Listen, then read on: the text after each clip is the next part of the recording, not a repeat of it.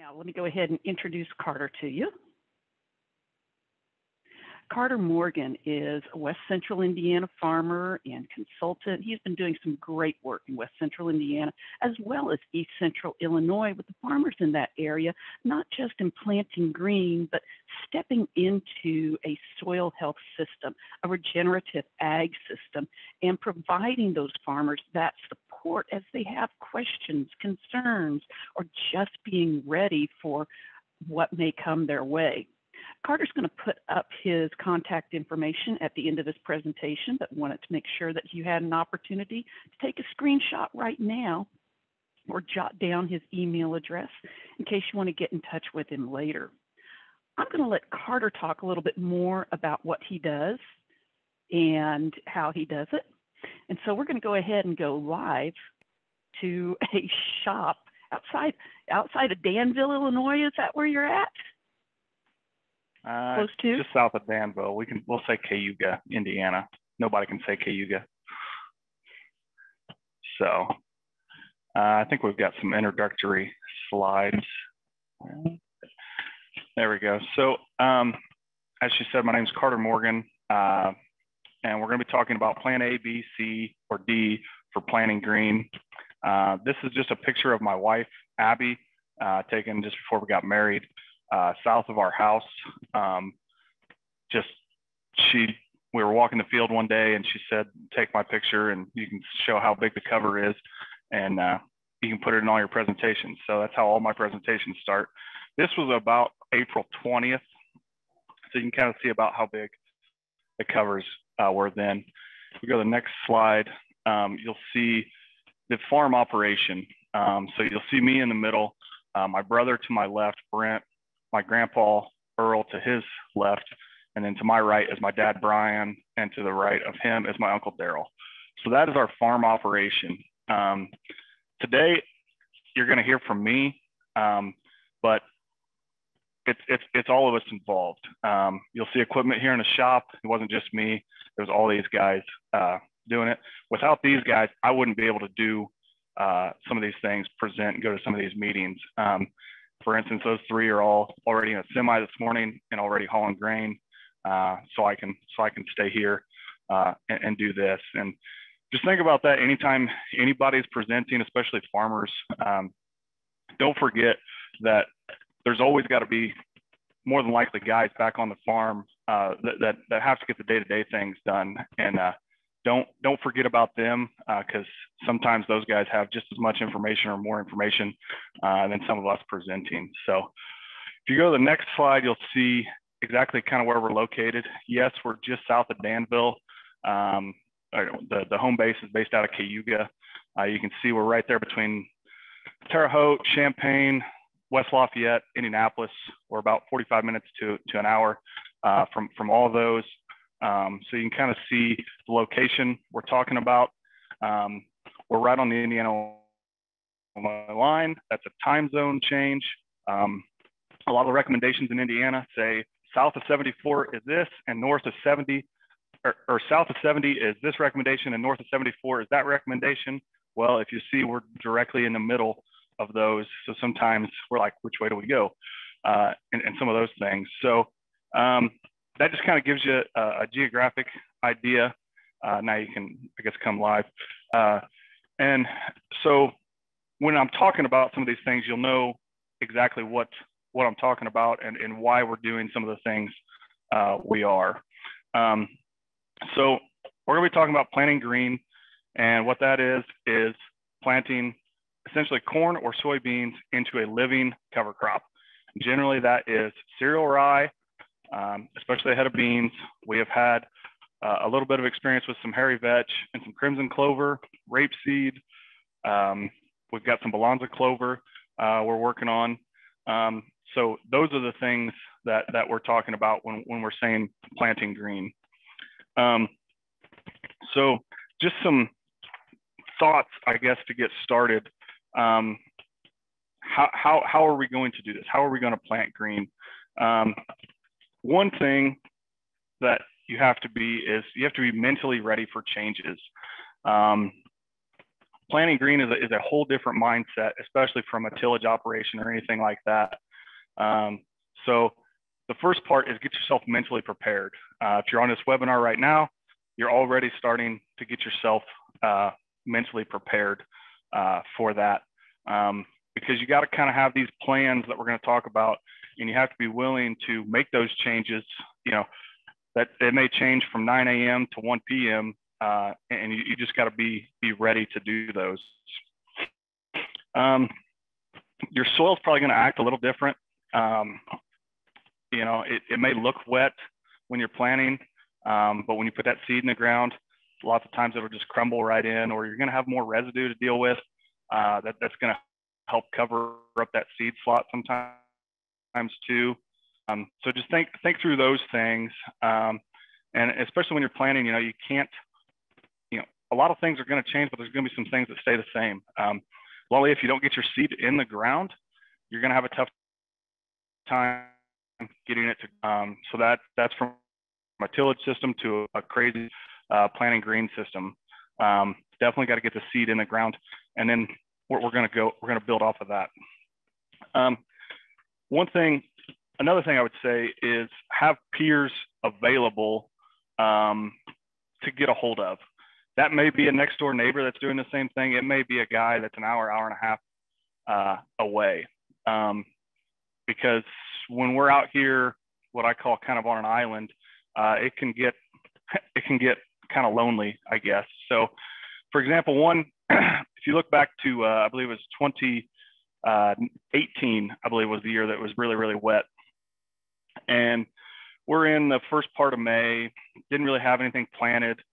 Um, and we're sitting just, just over here to my left um, one day while it's raining and, and my dad and uncle are talking and they, they said, Carter, how much, or my uncle who plants our corn, he said, Carter, how many acres of corn do I have to plant into cereal rye?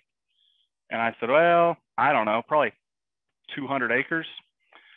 And my dad, who does the spraying, he said, uh, you better think again. He said, you got 190 acres south of 36. And I was like, oh yeah, I forgot, I kind of forgot about those. Okay, so you got those, and then you got that field. Oh yeah, there's 160 there.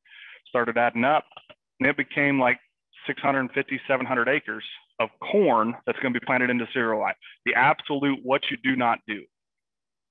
So those guys were kind of like, you know, this is going to be the first time we're going to do that. You know, that's going to be a little nerve wracking. And here we are going to do it on a fairly large scale, at least half over half of our half of our corn acres.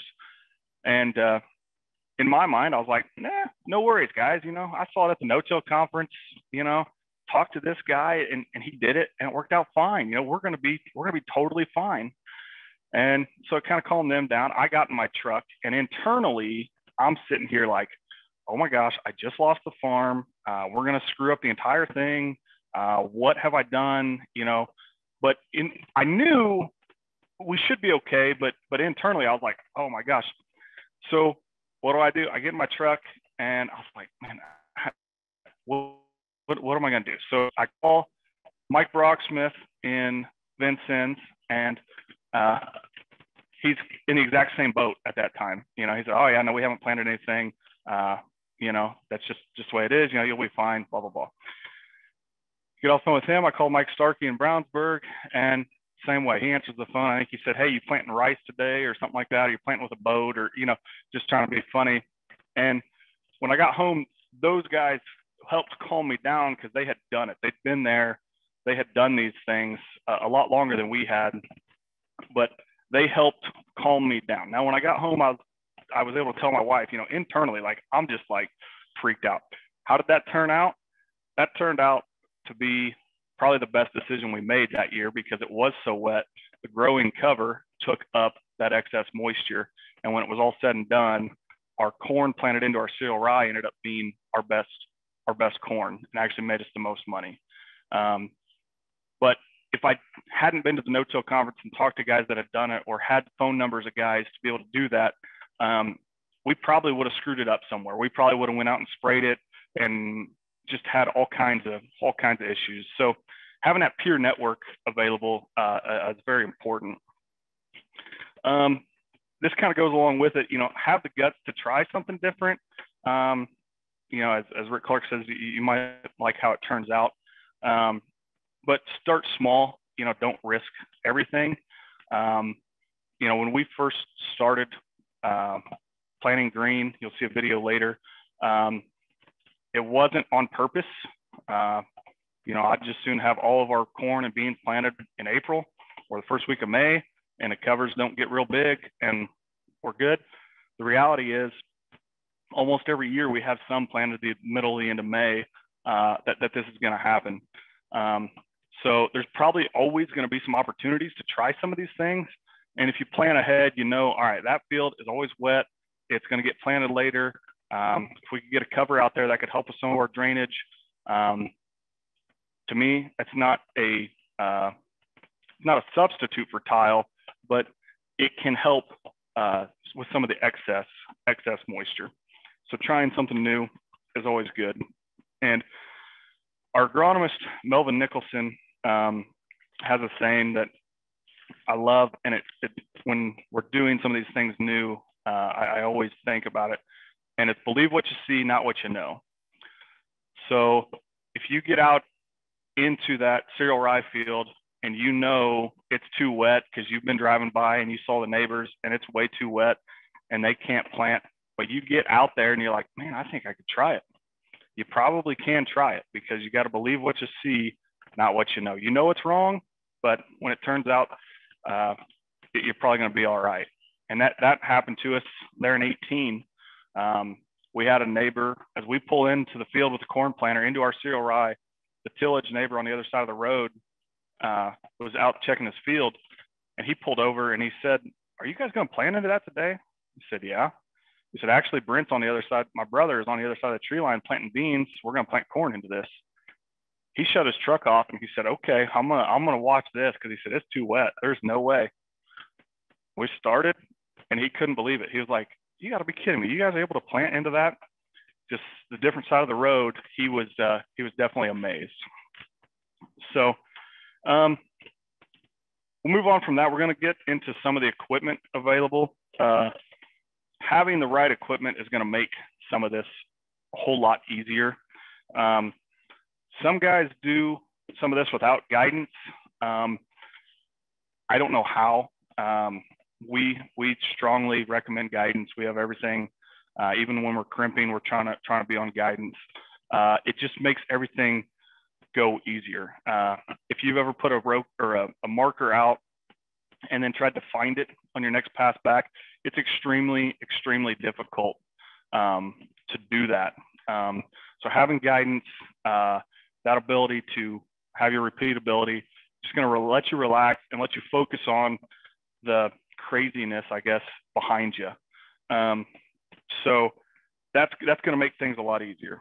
Um, if you can show the uh, the wrapped up row cleaners, Jessica, we'll uh, kind of talk about some of the downside. So if you see on the right, uh, there's a pile of row cleaners uh, that is totally wrapped up, um, and it, it's a it's just kind of a mess. So on the left is where the row cleaners should have been that year. Um, and that is uh, what happens when we planted 30 pounds of cereal rye um, and we were coming in and out of our end rows. Our row cleaners were wrapping on us. We had spike row cleaners and they were they were catching and we could not actually use our row cleaners. We didn't have uh, an adjustment on them. Uh, so essentially we ended up having to tear them off and we threw them in the back of the shed and uh, did away with them. Um, we put them back on the planter. You can come back live. Uh, we put them back on the planter, and um, we were just going to see how how they were going to how they were going to work uh, in other situations. So we've got an adjustment now, not the ideal adjustment, but it was the cheap adjustment. Um, but one thing I'll notice, I'll show you is we have one row that is a shark tooth or razor tooth. Um, and the guys at Martin No-Till uh, told me to try that instead of the others. And I'll show you, here's our spike. And if I grab that, you can see how much play there is. If you get a stick or residue or anything in there, there's just so much room for stuff to catch up. If you look at the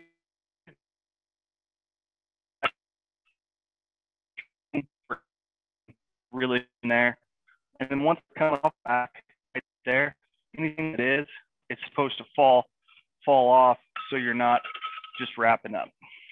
Now, we only have one row on. Why is that? Because I'm too cheap to buy all of it. Uh, once the spikes wear out, which will probably be next this year, uh, we'll replace those with, with razors. Uh, we have an adjustment, so now we can raise them up if we have to. Um, and that's just something uh, that we've learned um, is just having the right the right row cleaner. Um, Carter, having yeah. Can you run us through um, those row cleaners again, just real quick? I I heard some about how much slop there was in them, and then it cut out a little bit. So if you could if you could run us back through those again quick, that would be great. Okay, so this on a spikes, there's a lot of play. On a razors, there's not as much play. So um, my recommendation, especially in the covers, would be go to a razor form because once it's coming out of the ground, right there, it's going to flop off. Does that sound better? That's perfect. Thank you. Okay. Um, so they've already done two planter um, things with smarter guys than me. So I'm not going to touch too much on it, but you, if you go back and watch AJ's and Paul's, they can talk through the planters uh, much better. This is just our corn planter. We do have pneumatic down pressure. That's helpful. We do have chain drives, but they're hidden, um, kind of blocked here. If you have a chain drive or hydraulic drive, the rows are chain drive. If you have a chain drive from the ground, there is a likelihood of things getting in there and knocking chains off uh, on, on a lot of the old planters. The new ones, uh, you know, if you go to an, a hydraulic drive or an electric drive, um, you can get away from some of those things. Our bean planter's a cable drive to avoid that totally. Those are kind of obsolete, but that's what we did. Uh, if you come over here, this is how our, our fertilizer is. Uh, we were a two by two. Um, in 18, it got so wet that we were having problems getting our two by two actually down four inches. Um, and then it caused some planting issues and caused some stand issues. So we decided we had to do something different. And we redirected from the front and just redirected to the back. This entire system, and we used most of the things that we already had, that cost us like nine or ten dollars a row. To put a new set of two by twos on was costing us like 150 to 300 dollars a year, depending on how much we we did, and we were having to replace those every couple of years. This system shouldn't wear out. I mean, it, it it's very simple. Um, potential volatility here. Um, I mean, if guys are willing to put nitrogen on with Y drops, we didn't think we'd have any as many issues here.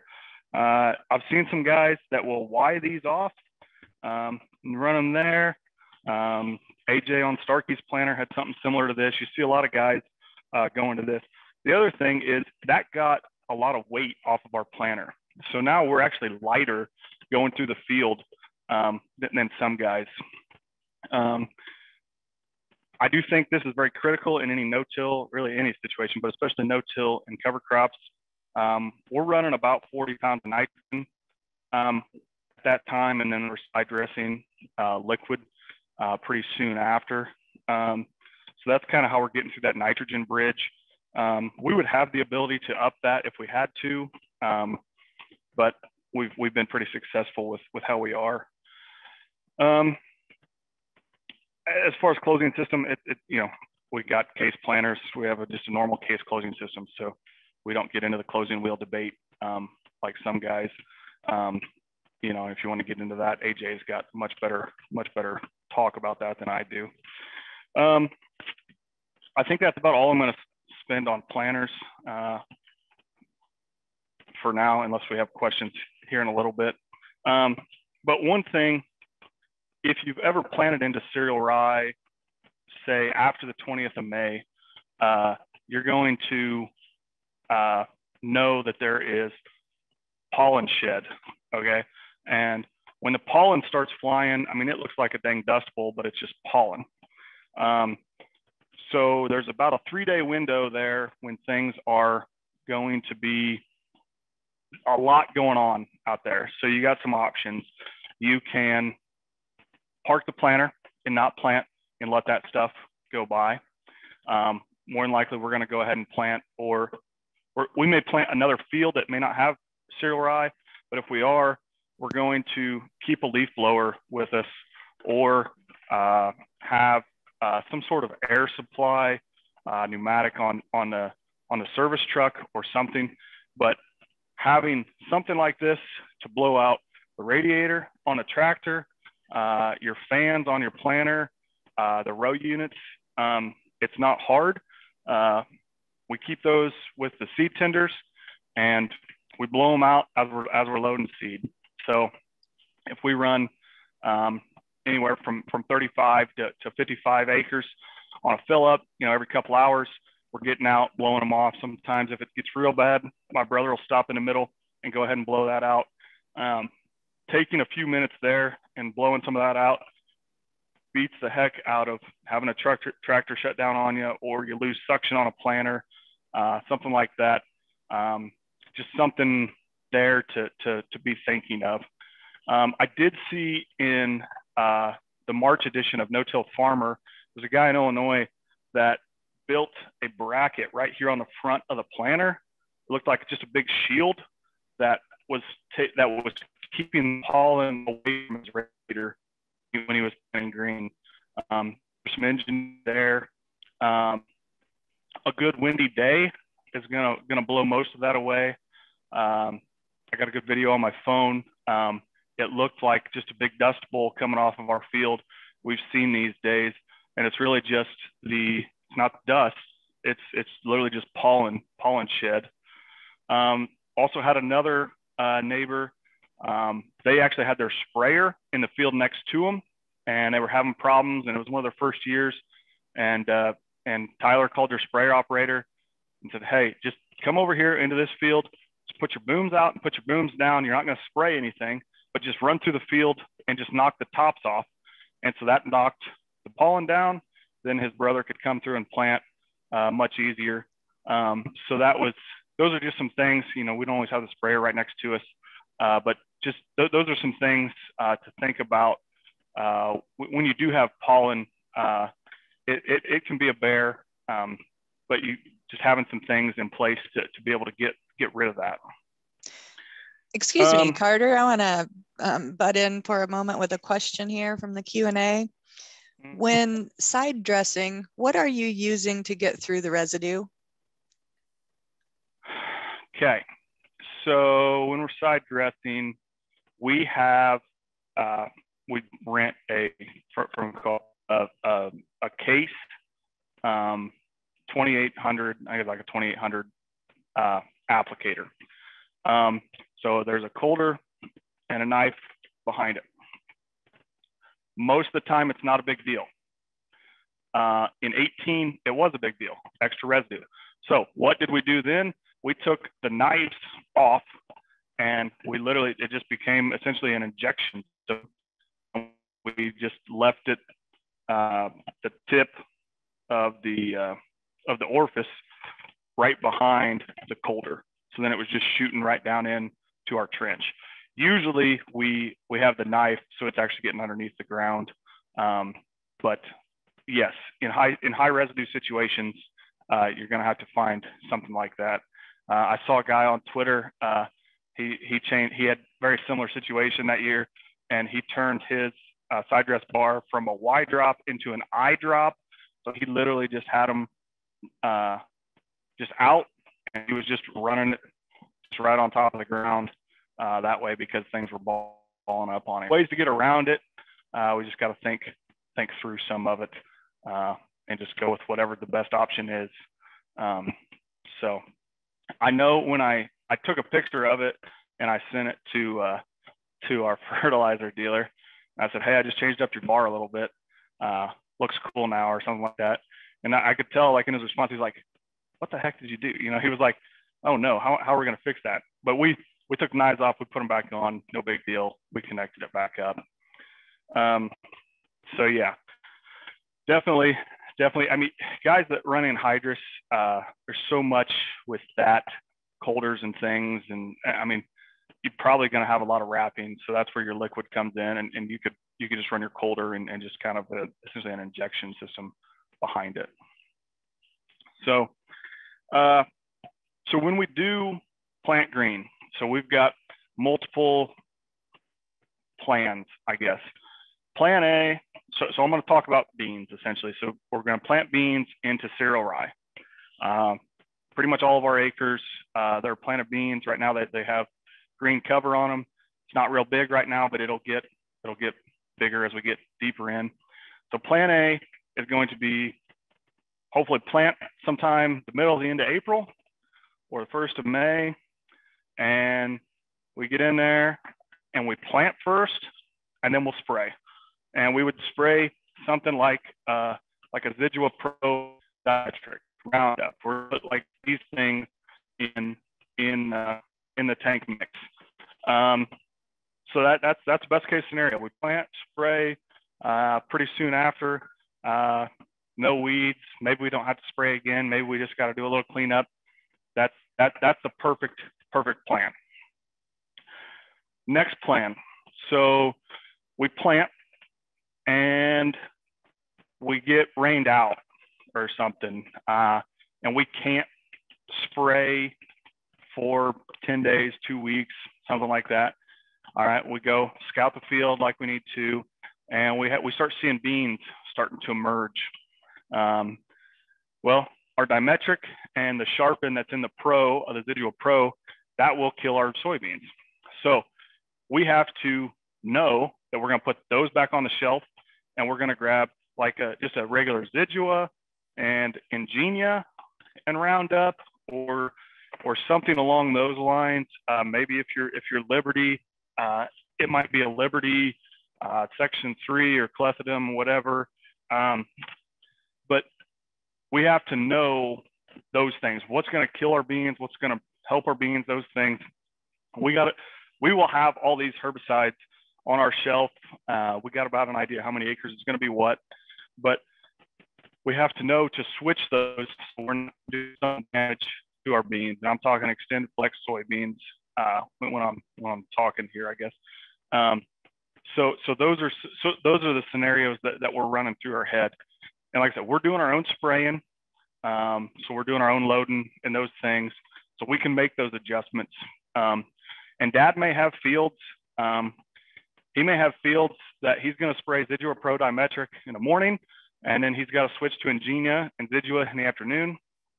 Uh, that's just that's just some of the plans and thought processes that we have uh, set up, uh, and we know those things.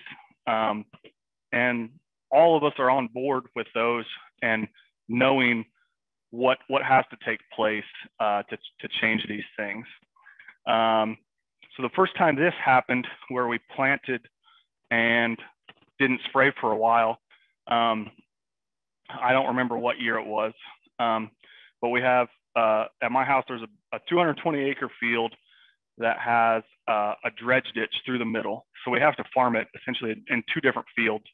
So we got like 160 on the back side of the ditch and we have about 60 on the front side of the ditch. And my dad's spraying right behind the planter. My brother planting, he's on the front side of the ditch where there's 60 acres and he gets that planted. Dad gets done spraying the back side, runs out. We're ready to fill up. We get our phones out and we look at the weather and the radar is showing that it's going to be here in a couple hours. Dad could probably spray that field, uh, or he needed to wait. We made the decision to wait that time. And then it continued to rain for 18 days. And first few days were good. The, the, you know, 10 through 12, you know, starting to get, you know, about day 15, dad came out and he was like, what the heck are we going to do? We got, we have beans that are literally growing. We got cereal rye that's still growing. The backside of the ditch is dead. Um, you know, what are we going to do? You know, we, we've really screwed ourselves up. We got a cash crop, we got a crop, cash crop, and it's just terrible. Well, it was a wet year. That side of the ditch does not have much tile. Um, we actually had a great stand. Uh, I think the excess moisture was taken up by by the cover crop. That year, that ended up being our best beans was that that side of the ditch. Um, I think that attributes to we had a better stand. It had a better living environment. Uh, we did get it sprayed uh, eventually, um, but we had to make those changes. Like I said, what I call the backside of the ditch got a program like that. Uh, the front side of the ditch got a program like this.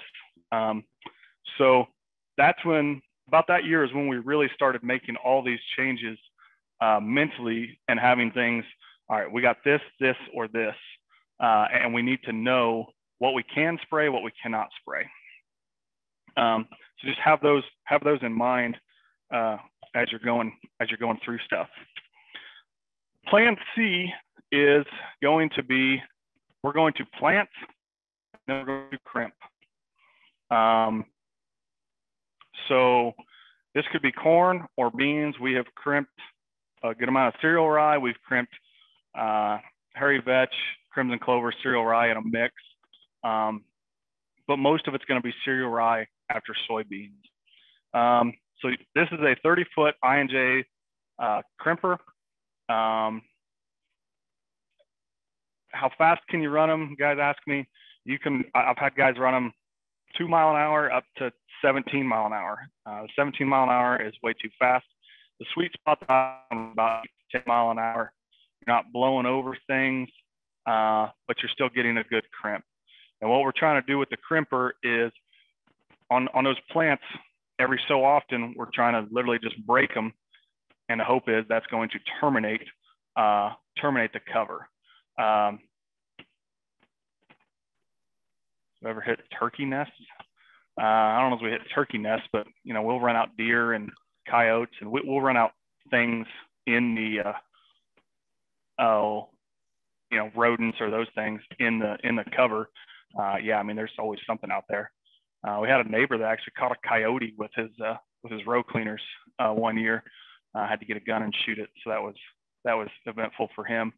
Um, but we're trying to crimp, so we're trying to terminate that cereal rye and not use, not necessarily not use Roundup, but we can minimize the amount of herbicide use. So if we get that mat, if we get that to where we put that down on the ground, then we do create a mat at that point, which is going to help suppress weeds, choke out weeds. It's going to hold moisture in the summer. Uh, if you, we do get a big rain, it's going to land on the, the, the cereal rye and work its way in as opposed to uh, just hitting the ground and running off. Um, so there's several several benefits um, there. So timing of when are we going to crimp? We will plant. Our ideal situation is we're going to plant and then we're going to crimp. Um, we can crimp anytime those soybeans are in the ground. If they're just starting to neck through the ground, we need to stop because they're running like that, we're going to break them off. They're dead. We have, we have no chance. So we have a window there, several day window there. If we let the beans get up and growing, we have another window that we can crimp. Neck and through, we're going to break them. Then you have up to, I'm going to say about six inches. We used to say V2 because um, that was about six inches. This year we ran into a situation with some guys that their V2 soybeans were about uh, about a foot tall. So they were extremely tall and were coming through trying to crimp, uh, and they were legitimately taking out a third to half of their soybean stand. Uh, so they went from 120,000 down to 60 to 80. Uh, you know, some guys may leave that uh, if it's a first planting early, but when you had 120 and you're taking it down, that's that's hard to leave those. So uh, if they're under six inches, the, there's enough residue that you can kind of get over the top and not terminate too many of your soybeans. Uh, so it's kind of a fine line. Um, and if it gets past that stage, then I mean, I would just recommend spraying. Um, we, we like I said, we're XtendFlex soybeans. Uh, we do we don't run any non-GMO or anything of that, corner beans, anything like that. Um, but that's those are those are I guess what, what we're doing. Um, while I'm thinking of, of herbicides, you definitely got to think through, you know, have that plan. You know, if I spray this in in the in the summer, you know, fall, I got to have another cover. I don't want to terminate my cover with that herbicide because I want it to go next year to be my weed control. So it's an entire cycle. You know, we're looking 18 to 24 months out. You know, we got this field's going to be corn with this cover and then beans and then this cover and then corn. So we got things kind of planned out ahead so we know what herbicides we can use and can't use. And with the crimper, that can even help us even more if we can eliminate some herbicides, maybe down the road, take out some residuals and just get some contact killers. Um, that, that would be huge. Um, I think I've got some pictures of what it looks like to do, I guess, this system. Um, so this first picture is going to be probably what cover crops look like about now. Okay, so this is flown on cereal rye. Um, yeah, so March 14th. So here we are, March 2nd. So here in a couple weeks, you know, things might grow a little bit. Um, but, you know, if you're looking at that, you're like, nah, you know, what are those covers really doing for me? Probably not much, but they're probably growing down, down in the ground. So if you go to the next, uh, the next slide, you'll see this is actually the first time we planted into cereal rye. This is my brother planting soybeans. Um, and you see there's, there's cereal rye and rapeseed. It's about 40 pounds of cereal rye. It's not as thick as you might think once you get out there.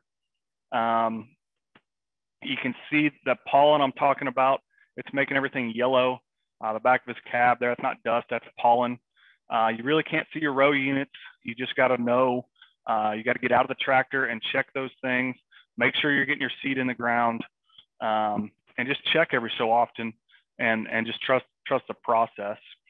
So, like this May 23rd when he planted. If we go to the next slide, I believe we're going to be about the end of June. And so, so in, in that first video, you couldn't see my dad spraying, but he was off to the side. This video, I'm riding with dad. He's spraying our post program, and it's June 28th.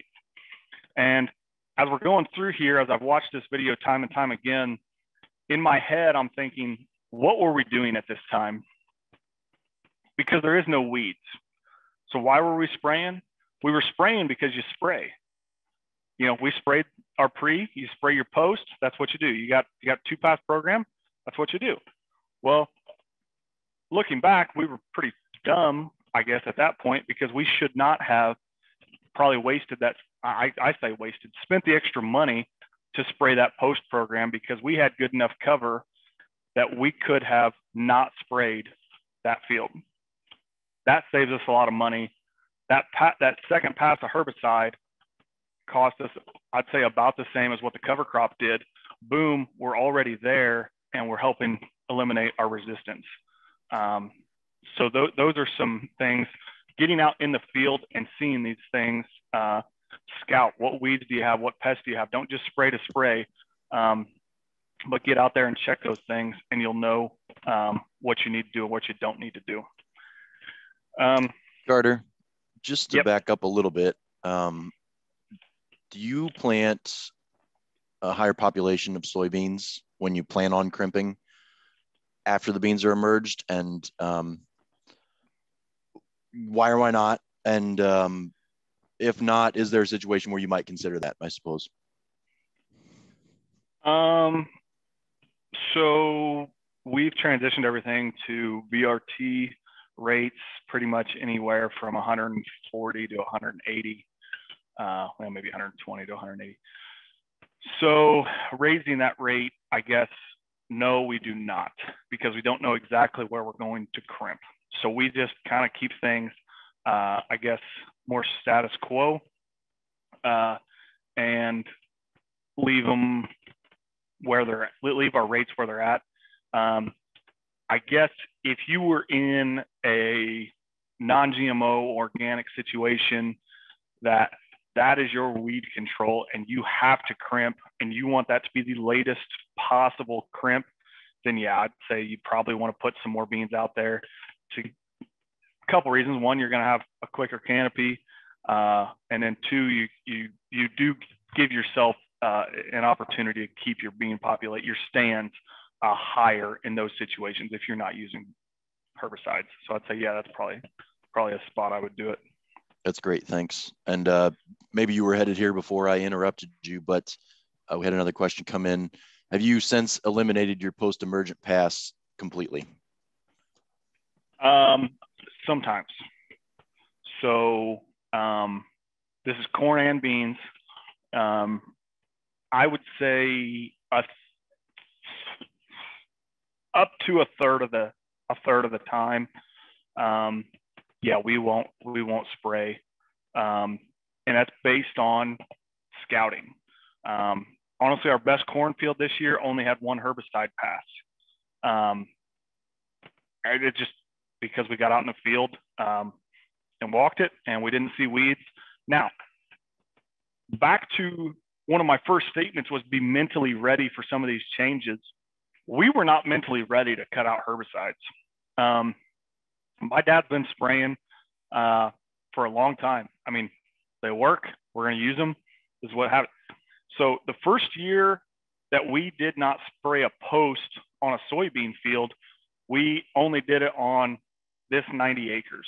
Um, you know, we had other fields that we went ahead and sprayed, but we said, all right, we, we can try Kelch. Let's just try Kelch and not spray it. We came back in the fall and we're like, hey guys, where's the weeds?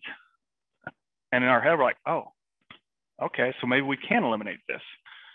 The, the corn, we didn't have as much guts. Bluntly, uh, we were walking fields. We should have left probably 300 acres. And it was me and my uncle. And, you know, we were walking, we're like, man, there's not weeds. But we were at the stage where the label said we had to spray or we were not going to spray. So we were at a stage where it was spray or don't. We left nine acres and it worked out great. We, we should have left 300 acres. Now we have the guts to do that. Um, at the time, we did not. So back, I mean, we started small and then we've expanded. So my ideal situation, yes, we spray one time at planting and we do not come back at all. But can we do that on every acre? Not exactly. Some of it goes back to what's our drainage in the field? When do we get things planted?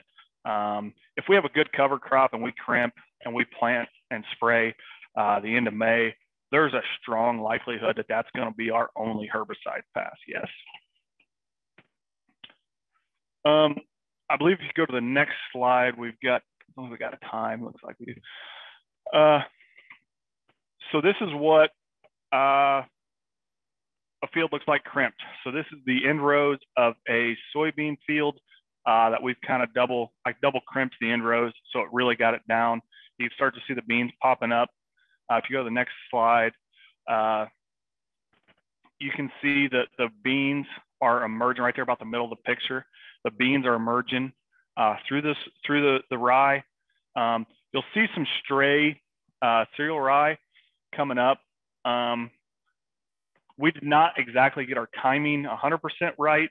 Um, we had some, we, this was a VNS rye, um, but we're going to lay down most of the most of the rye, and it's going to be pretty flat. Um, but you're going to have some that are going to pop up uh, here and there. More than likely, most of them are not going to give you fits. Um, but just so you know, uh, sometimes you're going to come through and it's going to be 100% flat, and there's going to be times where it's 95 and you got some of these sticking up. Uh, just just for a visual. Uh, if you go to the next one, this is that same field, same spot. Um, I think this is a field that we did crimp, uh, and then we either we sprayed like one time. Um, so uh, yeah, that's that's kind of what they can look like. That's ideal situation. Uh, the picture on the left, you can kind of see some residue uh, still there, but it, it, it, really has been decaying. Uh, if you get this residue on the ground, uh, let your earthworms and those things um, eat things up, um, you know, you can really, really eat your residue quicker. But that's that's an ideal situation. I will tell you they don't all look like that, but that's what I wish they all looked like. Um, Carter, mm -hmm. um, would you speak about the importance on sharp double disc openers as you plant green? Yeah, yeah. So um, yeah, you, you got to have anything cutting through the, the field. It has to be sharp, essentially. I mean, because you've got this residue that uh, you literally have to cut through. So you want things that you're going to be able to cut through any of that residue. So if you have good double discs uh, that can cut through that, uh, you're not then you're not just dragging a bunch of uh, residue into your seed trench and getting um, getting residue into your seed trench. Um, so yeah, you, you need things that are going to cut through and, and, and, cut those things off. Um, I will say, as I'm thinking here on, on seed trench, so um, if you run smart firmers, we do not run smart firmers uh, from Precision Planting, but we did have a um, we had a neighbor that was running them into cereal rye, and they could not get the clean furrow reading that that precision planting says you have to have. And they couldn't figure it out. And after some diagnosis what happened what they figured out was their cover crops they had enough roots down there that they could not get a clean furrow reading because the precision planting smart firmer smart firmer was trying to read, all it wanted to see was just bare dirt, bare dirt, bare dirt. Well, they had so many roots in there that it was giving them a bad reading and telling them that, that they had residue in their trench. Well, they were not pulling residue into their trench. They literally just had that many roots that it was in their trench. Um, planted fine, but the technology that was, was telling them they were in a bad situation, they were not in a bad situation. So just something else to, to that, that can come up. Um, I don't know if I have any more slides. Is there another one after that? No. So um, yeah, that's, I, there's my contact information. Um, I guess that's pretty much most of what I have. I don't know if you have any more questions. Um, we do have just a couple, well, question and a comment. Um, and then as well, I actually, I think I saw a speaker at the No-Till conference this year used that leaf blower, just like you showed a little bit ago, to blow out the seed trench and make sure things are shaped the way you think they're shaped and to to hmm. do their seed counts. I don't remember who that was. I'll have to go back and look that up. But I thought that was a really interesting, interesting. thing. Um, and I've certainly, you know, digging up seeds is very exciting, but it can be very tedious. so anything that would speed that up would certainly Absolutely. be good in my mind. Um, Absolutely. But back to um, the plants or how much residue do you knock down when you're planting green? Um, how much residue? Um, probably not as much as you think. Um, on our 30 inch row corn, um, there's a lot more standing there, especially um, especially where there are no tires ran. Um, most of that's going to stay standing. Anything that gets ran over with the with the gauge wheels or a tire or something, you're going to get a lot of that down, but but a lot of it's going to stay standing. Um, on our 15 inch, we just have that many more row units, that many more gauge wheels and wheels and and things running over. Uh, you're going to notice a significant difference um, with the amount of residue that we're going to or the amount of rye that we're going to knock down uh, with that. But um, you can tell we've been through the field, but there's times where, um, you know, there's there's times you drive by some of our fields, especially if they're on 30s, and you're like, did those guys plant that, or did they forget about that, or you know, and it, it's I mean it's just the way way it is. So there's there's a lot more standing than some guys might think. Carter, have you ever mm-hmm. had mature cereal rye still standing at the time of bean harvest? And if so, did it create any harvest issues? Yes, that is why that is in the shed right now. Um, so we, when we first started this, so like there in 16, um, I believe it kind of turned off a little dry and um, sorry, my heater just kicked on. Uh, so it turned off dry and we had um, rye that was still standing. Didn't get all the way down. We came through to harvest and it would cause us some grief harvesting. We could only, you know, we would only harvest a mile or, or a half a mile an hour slower than we would anywhere else. Um, did it cost us yield? No, but you know, when you're ready to harvest, you want to harvest, you want to get the next cover planted, th those things. So with it still standing, the more residue, it was hard to cut. Um, so it would kind of push up. So in the morning when it was dewy, we couldn't cut through that. In the evening when the dew set in, we couldn't cut. So we, we were having to stop. Um, so that's where the crimper came in. Any field that we crimped uh, years after uh, that residue was down, we were able to gl essentially glide over the top, uh, no matter which direction, whether we crimped this way and we cut that way, or even vice versa. For the most part, we could stay on top of that uh, residue mat per se, and you, we could cut our beans at just a normal normal speed like anything else. Um, so if it's a wet year and you get enough moisture to push the, push the rye down, more than likely you're going to be all right. But if it turns off dry and you don't really get any residue to or any moisture to put your residue down, yeah, it can cause some issues at planting. So that's that's why we have that thing in the shop now. Great. Um, clear back at the beginning of your presentation, we had a $64,000 question typed into the chat. Um, did the neighbor who was amazed at your ability to plant when he couldn't with his tillage, has he since started using cover crops and become a believer? No, he has not. So um, I don't know if you can see. So I work with our local soil and water, which is now the Vermillion Parke Soil Health Alliance. Uh, so that is part of my, I guess, side gig is to try to help promote some of these things with producers um, in the area. And he's a guy that I try, um, but he's he's kind of the age where you know I've done it this way so many so long. Uh, you know, I, am I'm not going to change. Um, I get that. It's hard to change. It's hard to to think things differently.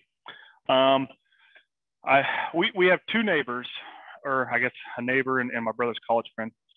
Um, the two guys that have totally changed their mindset after being on our farm saw it when we were tiling. Um, so we have a neighbor. Um, he farms by himself, and he and us bought a tile plow together and started installing tile on our farm and their farm on his farm. And he always runs the backhoe and digs our start holes. So he's digging on his, he starts digging on ours, and he gets out of the tractor or the backhoe and he looks at the soil and it had been no-tilled. It was actually no-till corn on corn for about eight years at that time. And he looks at that and he said, My soil does not look like that. Never really said anything else. Before we knew it, he had sold all his tillage equipment and he was no tilling. And now he's cover cropping as well, planting green like we are.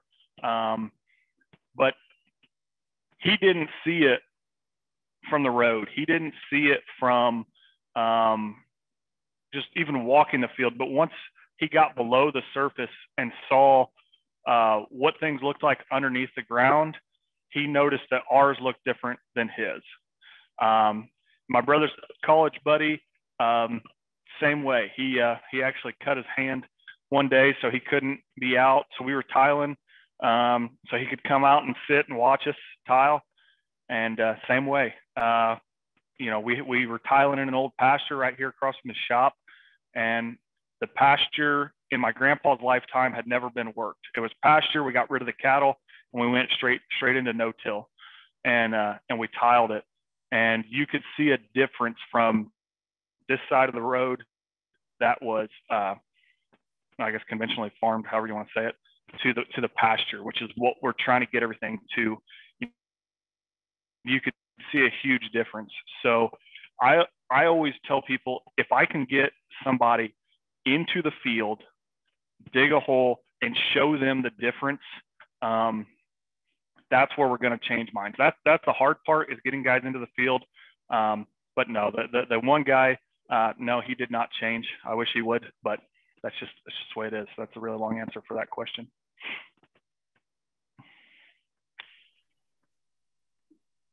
Very good. Well, thank you, Carter. And uh, if there's anybody that has any last, oh, perfect. If there's anybody that has any last burning questions, now's the time. Um, we did have one come in. So, what's the biggest challenge you have faced planting green? Ooh, biggest challenge. Um, probably, probably that just that mental, uh, that mental hump there. Uh, just getting, getting ourselves convinced that we can do it. Um, you know, I showed the row cleaners. Um, you know, that's a hurdle. That was a hurdle that could could have told us to stop. Um, you know, um, when they wrapped up like that. Um, mentally, that could have just drained all of us, and we said, "Screw it, we're done." Uh, you know, but we didn't. So I guess probably probably the biggest hurdle is just just ourselves, just just right here. Um, you know that that that's that's a hard hard thing to overcome, especially when we've got guys like I mean my my uncle's farmed 40 is like 43rd year. Uh, you know, he hasn't done it the same way every year, um, but he's got a lot of experience um, of doing it, of farming a different way than what we're doing now. Um, so that's definitely, definitely probably the biggest challenge that we've faced is just that. Now, I will say that mental challenge is tough but all four of us that are that are owners in the in the operation, we are all on board. Uh, and when, when we make a decision, we're, we're together, we're united on that decision, and we go go together uh, and make those decisions. And a lot of our decisions are based off of the data that we have. Um, you know, um, does this decision make sense? Does this decision not make sense? Uh, I'm very much a numbers guy. I want those calculated decisions made uh, made well. So mentally having those things ready um, is is is probably the biggest thing that we've had. Carter, has that been true from the beginning? Has was your dad on board from the beginning, or did it take some convincing?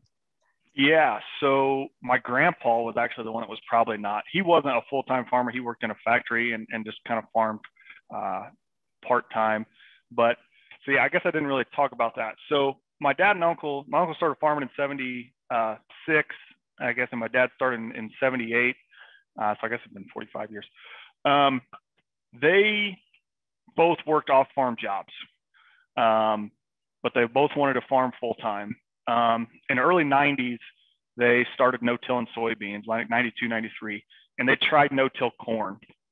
Um, didn't couldn't get the corn to work, um, but they, they, tried. Somewhere in there, my uncle met Melvin Nicholson, our agronomist, on a mission trip to Haiti, and um, that's kind of how we joined this journey.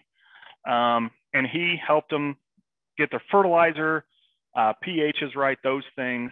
Um, and then they started no-tilling everything else. So about 2006, they, they sold all their tillage equipment drove to Kentucky and picked up uh, all their parts to rebuild a planter with Martin uh, parts. So those two really started our journey. Those guys were the ones um, that made the change. It was my dad and uncle. Uh, in 2011 is when they started no-till or started cover cropping, um, about 150 acres. Um, we've expanded that to now over 2,000 acres every year um, just because we saw that it worked and we were like, why don't we do this on every on almost every acre? So now we're about 90% covered, and we're trying to get as many acres covered as we can. Um, so those two were actually the ones that that made the changes um, initially. Um, so I like I say, I as I tell people, I farm like my dad and uncle did. I just don't know any different, but no till and cover crops because uh, I didn't like I said we they were no till and cover cropping in 2011. I graduated Purdue in 2013, so that's when I came back to the farm. So these things were already in place. Um, as Dad says, once once I came back, um, we've just kind of really ramped things up because we have the data to show that these things work.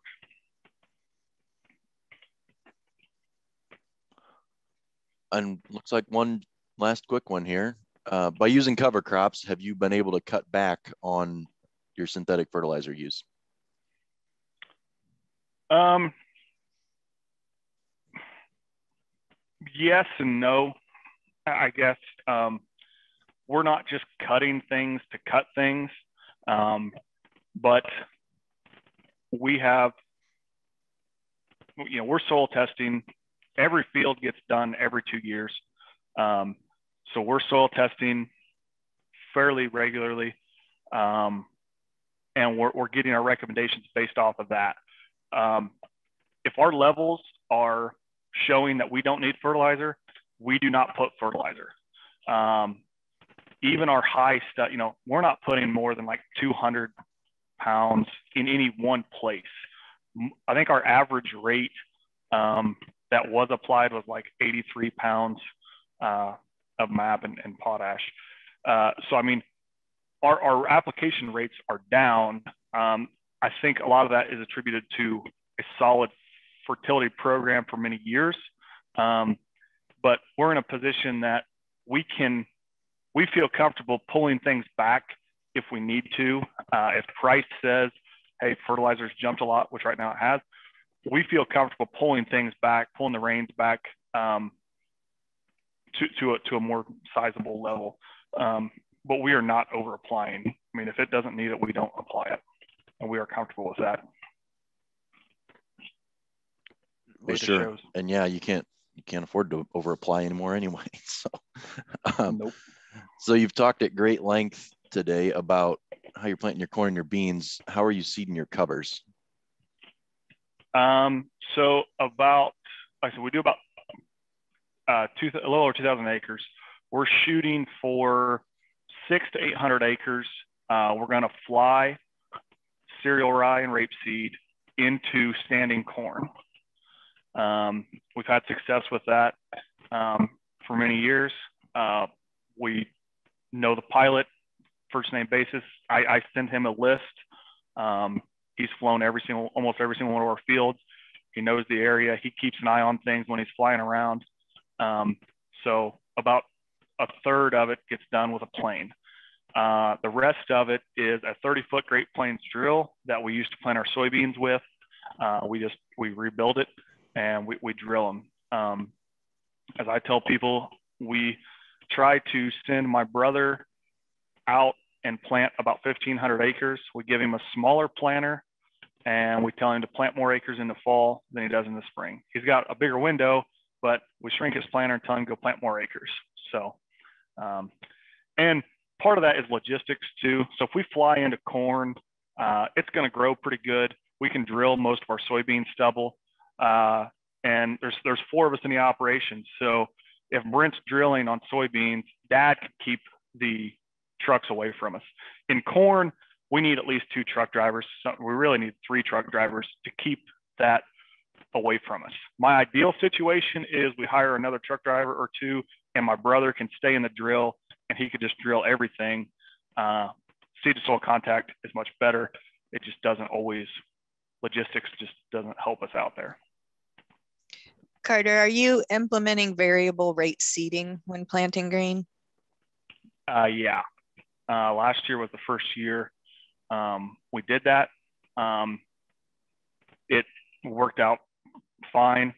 Um, the planter operators liked that better than a stagnant rate. We used to just run a stagnant rate um, of each field, but it would change and they had to go in and, oh man, I got to find the paper and change those.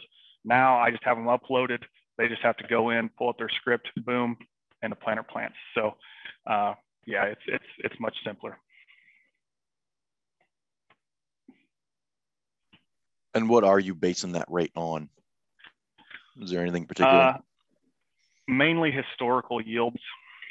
Um, so we've got 10 to 12 years of yield data um, on SMS, Pegaleader SMS, and there's a function there that I can run an analysis um, with all these corn and bean yields together, and it'll put it all together, and it will, give me one map that shows my highs and lows, and then I can just pick each area, and I can add more or less seed on those.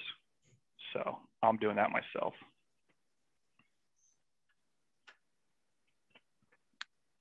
Uh, just this last question here, and then I think we are over time, but are you writing your own scripts or are you working with your crop advisor to do that?